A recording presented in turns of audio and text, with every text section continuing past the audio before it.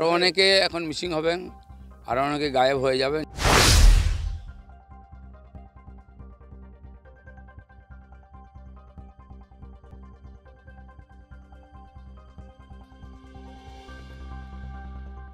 Lookout নোটিশও জারি করা হয়েছে। বিধায়ক বিধায়ক মিসিং আছে। আরও অনেকে এখন মিসিং হবেন আরও অনেকে গায়েব হয়ে যাবেন। যেমন যেমন সিবিআইয়ের থাবা চারিদিকে হাত চারিদিকে যাচ্ছে বহুত দূর দূর অবধি। আর অনেক মানুষকে দেখবেন সে পাড়া থেকে গায়েব হয়ে গেছে। কারণ কি এই যে দুর্নীতি চলছিল এত বছর ধরে ব্যাপক দুর্নীতি তার জাল বহুদূর গেছে সেই জন্য সিবিআই জালও পেছনে পেছনে যাবে। যে বীরেশ ভট্টাচার্য মমতা বন্দ্যোপাধ্যায়কে ডিলিট দেওয়ার জন্য সুপারিশ করেছিলেন তার বাড়িতে সিবিআই স্বাভাবিক বোঝাই যাচ্ছে ডিলিটের পেছনে উদ্দেশ্যটা কি।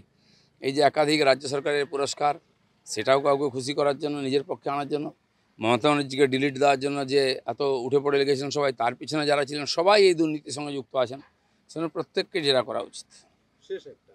অনুব্রত মণ্ডল বলেছিলেন সিবিআই তদন্ত চায় ক্যামেরার সামনে।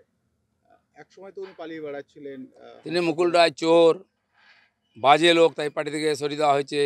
সিবিআই তদন্ত এই কথা বলেছিলেন। এখন ওনার পক্ষে যাচ্ছে উনি এখন সিবিআই তদন্ত চাইছেন অন্য কারণে। দেখা যাক চাকা কোন দিকে ঘোরে। কি মনে করেন? চাওয়ার পেছনে কি না উনি তো কাকে ভয় দেখানো হয়েছে ইত্যাদি নিয়ে সিবিআই তদন্ত চাইছেন। ওনারা একটা ধোঁয়াশা তৈরি করার চেষ্টা করছেন যে সিবিআইটা কোনো ব্যাপার নেই যাকে ইচ্ছা করানো যায় এর কোনো গুরুত্ব নেই এর মানে এই নয় যে আমি চোর। কিন্তু যথাসময়ে সমস্ত তথ্য আসবে মানুষ জানবে কে সৎ কে অসৎ।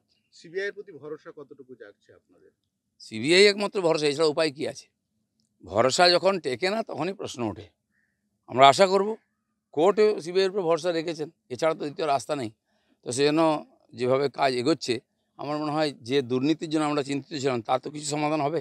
কয়েকদিন আগে প্রশ্ন তুলেছিলেন সিবিআই ভূমিকা নিয়ে কিন্তু এখন কি বলবেন? না না আমাদের পোস্টপল ভায়োলেন্সে বিজেপি কর্মীদের অত্যাচার মার্ডার রেপের উপরে যে কেস হয়েছিল তার এখন সমাধান হয়নি। তখন আমি প্রশ্ন করেছিলাম।